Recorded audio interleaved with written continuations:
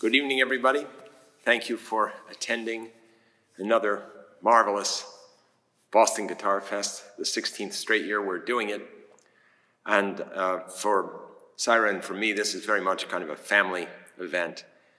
And so for many years, I've wanted to be able to engage my long lost brother, Yehuda Hanani, brilliant cellist, world famous musician, uh, festival inspirer, and creative genius uh, in his own right. Um, I'm very happy that finally this year the schedules have worked out and we're able to engage him and he's able to join me in a very varied recital with music ranging from Bach uh, right up into the 20th century. So we've tried to put together a program that's uh, very uh, uh scintillating and a lot of different moods, a lot of different characters.